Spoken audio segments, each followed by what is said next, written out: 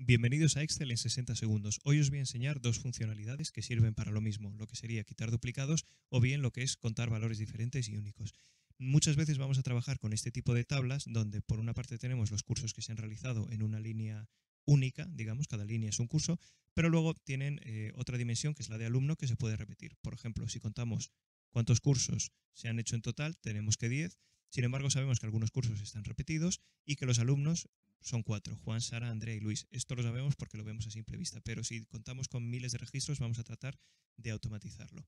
Eh, por una parte, para contar cuántos usuarios únicos hay, tenemos la opción de copiar la columna, pegarla en otro lado, siempre tenéis que pegarla en otro lado, nos vamos a datos, quitar duplicados, le damos a continuar con la selección actual, creo que esta ventana y aceptar, creo que esa ventana no la veis por las limitaciones de la capturadora de vídeo de Windows, pero bueno, le dais a aceptar dos veces y tenemos que utilizar la fórmula de contar. Lo que pasa es que si contamos, vamos a contar hasta abajo, nos da cero. ¿Por qué nos da cero? Porque estos son campos de texto. Si fueran números, por ejemplo, 1, 1, 1 y 1, saldría que hay cuatro veces el número 1. Para subsanar este error tenemos que utilizar en vez de la fórmula contar, la fórmula contar A. Lo mismo para los cursos. Si queremos contar cuántos cursos únicos hay, cogemos, los pegamos en otro lado, porque si quitamos duplicados de aquí nos va a cambiar la tabla, nos la va a destrozar le damos a aceptar dos veces, nos salen estas ruidosas alertas y aquí podemos ver que hay un total de seis cursos diferentes. Si copiamos y pegamos, con la fórmula contará nos dice que hay seis cursos. Esto sería la primera parte.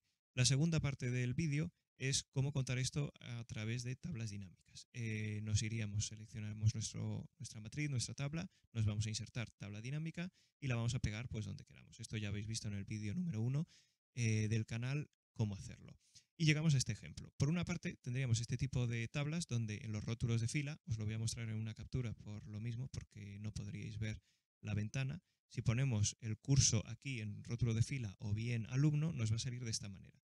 De esta manera tenemos resumido los valores únicos em, que aparecen en nuestra tabla original, es decir, nuestros cuatro alumnos y nuestros eh, cinco cursos diferentes. Aquí nos había salido seis por algún motivo extraño y debe ser que esto no está cogiendo bien todos los que hay. Hay curso de recursos humanos, de Excel el público. Ah, el de recursos humanos está repetido, ¿vale? Eso es, debería ser así. Eh, vale, eh, después, siguiendo este pequeño inciso, podemos jugar con las dos dimensiones, la de curso y de alumno, poniendo curso en las columnas, en las filas, perdón, y alumno en las columnas. De esta manera si añadimos la métrica, que sería fecha, como cuenta, eh, esto nos vale, aunque no sea un valor numérico como tal, nos sirve como cuenta.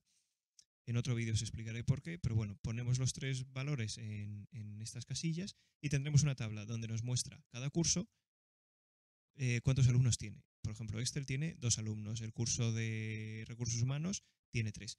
Y luego, si cambiamos alumno y curso de orden, podríamos tener una tabla que es más cómoda para mostrar cuántos cursos hace cada alumno. En este caso, Luis vemos que hace cinco, Sara hace tres, eh, Andrea y Juan pues hacen uno cada uno y además el curso.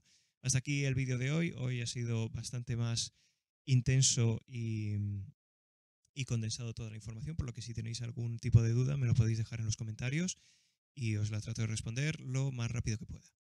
Hasta luego.